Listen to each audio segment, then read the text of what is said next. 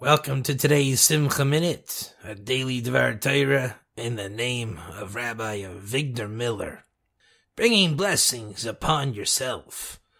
When you pass by a yeshiva, you think of asking Hashem to place a bracha upon all the Rosh Yeshiva, a bracha on all the Talmidim, on the Kollel, their wives, all their children, and on all those who support the Kollel.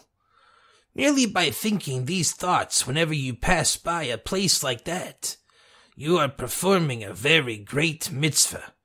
Additionally, you are bringing the blessing of Hashem on yourself, as it says, I will bless those who bless you. Thank you for listening. Be well.